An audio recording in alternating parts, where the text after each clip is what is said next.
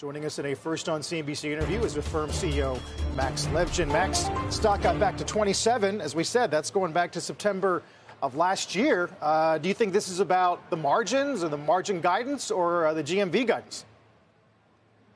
If I knew what moves the market, I'd probably have a different job.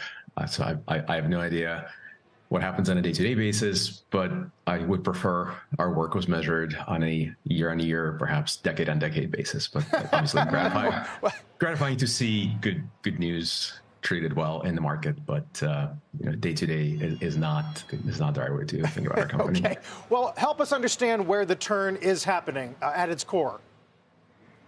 You know, this quarter actually, I mean, obviously we beat across the board. Revenue grew 37% year on year. GMV grew 28%. Unit economics were super strong. We always guide to 3 to 4% uh, revenue less transaction cost as a percentage of GMV.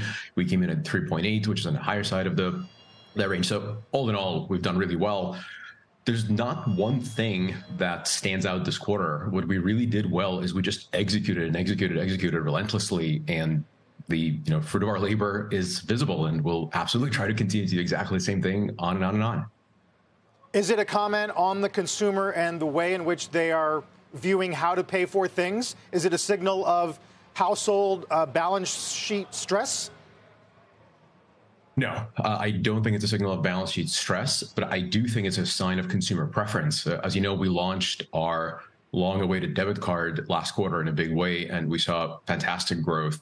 Last quarter We reported, this quarter again, we're, we're showing just real strong demand from the consumer side for this way of buying. It's a new product, doesn't really exist anywhere else but at Affirm. It's a debit card that has borrowing capacity built into it. You're in total control. You can decide to uh, buy now and pay later, either a priori or after the transaction, or just buy with your bank account. So that functionality speaks to this no, the need that we see in the market from from people want more control and more transparency about their money. And so the the pull that we're seeing is what accounts for all this growth. What are you seeing right now, and what's your expectation for consumer credit quality?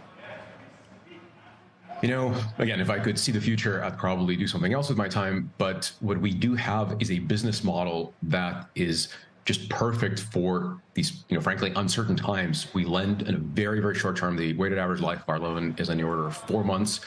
We underwrite every single transaction, and sometimes we have to say no when we think that people are overextending themselves and wouldn't be able to uh, pay for the loan. We don't charge late fees, which aligns our interest with consumers. If they're late, we don't make more money, we actually lose.